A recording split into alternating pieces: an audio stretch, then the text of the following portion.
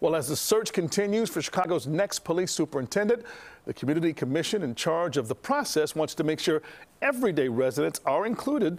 And they've been holding public hearings all month long to give the community a chance to weigh in and share their thoughts on what they'd like to see in Chicago's next top cop. Joining us now again here on the stream to talk about that process and give us an update is President Anthony Driver. Anthony, thanks for being with us.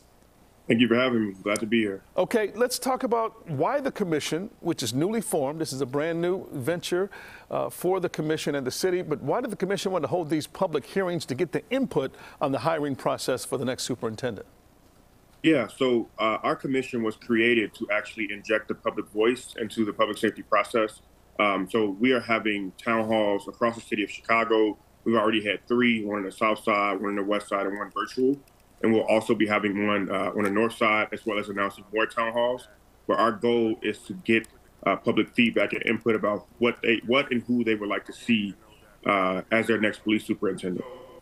What has the turnout been so far for these meetings? You have, you've had three, you have one more next week coming yep. up. And what are residents saying? What, what are they voicing in, in, terms of their opinions of the qualities and characteristics they want to see in the next C, CPD superintendent? Yeah, I think the lowest turnout we've had so far is about 150 people. So every, uh, you know, we had one at St. Sabina, one on the north side, the Kehrein Center, and the virtual one last night. Um, and the virtual one may have been the smallest one with about 150 people. Um, so we've had great, great turnout.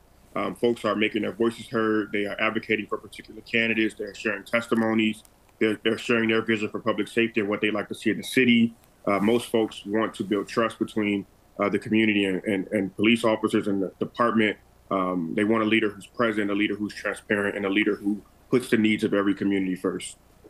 And, and Anthony, how you, will you take this input and apply it into the search process as you look to find three candidates to present to Mayor-elect Brandon Johnson once he takes office? Well, I guess that'll be later this summer when you do that. Yeah, so their, their input is very valuable. As I explained to uh, many of the folks who came out and made their voices heard, uh, many of the questions that they ask us uh, we will ask directly to people who are interviewing to be uh, the next superintendent of police for, for CPD.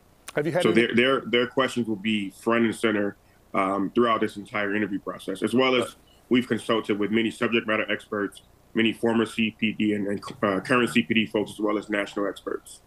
And uh, I'm sorry for interrupting, but I was going to ask you: Have you had any conversations with Brandon Johnson since he won the runoff election for mayor? Yes, actually, uh, I talked to Mayor-elect Johnson the day after the election. So the day uh, he won, uh, the very next day we had a, a conversation. Uh, he has said that he supports our process.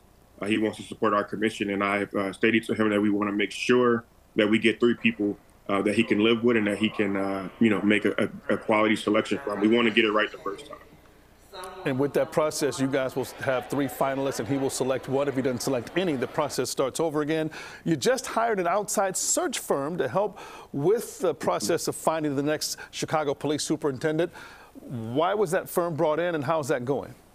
Yeah, so we want to maximize capacity, right? We have a, a, a, pretty good staff at our commission, but also things like doing thorough background checks, uh, help with recruiting, making sure that these this is a firm uh, that has this experience doing this at the national level and across uh, different municipalities in, in the country.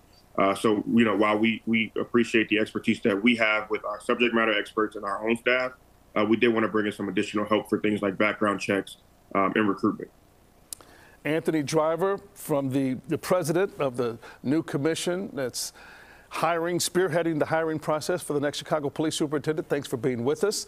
That final public hearing is set for May 4th, next Thursday at Roosevelt High School from 6 to 8 in the evening.